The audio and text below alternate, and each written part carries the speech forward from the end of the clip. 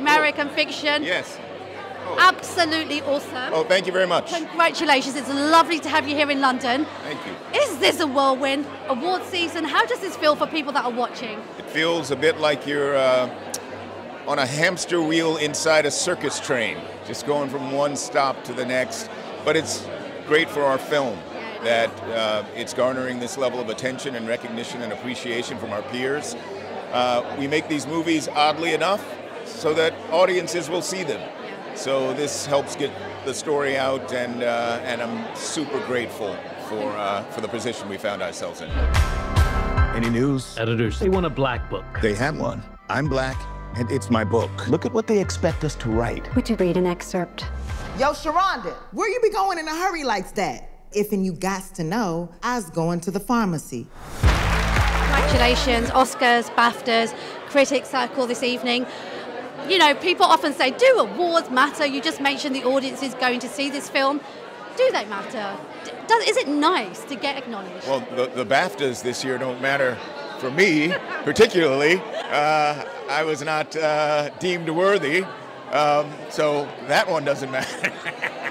How does that feel? Listen, awards are great, uh, particularly as these are when voted for by our peers. That's really meaningful.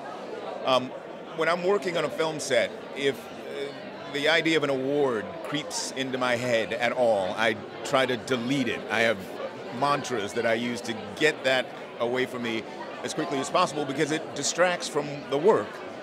What is this? Deadbeat dads, rappers, crack, and black, right? Nobody's gonna publish this. Just want to rub their noses in it.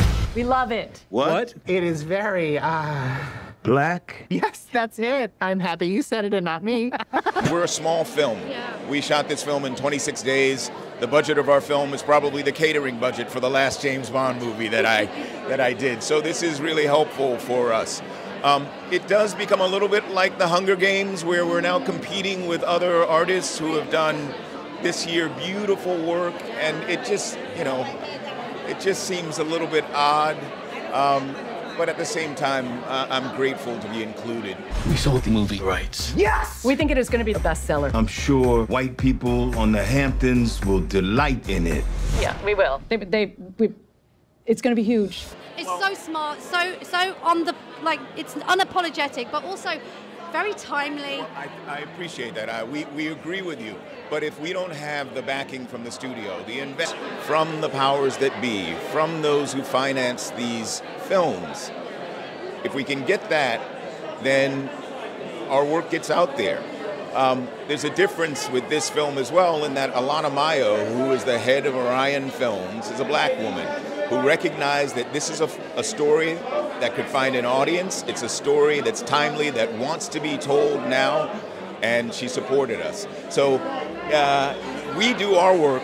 It's getting people in uh, in positions of power to greenlight films who have an appreciation for that work and are willing to put themselves behind it. Listen, good luck, enjoy the season, and congratulations. I adore the film. Thank you very much.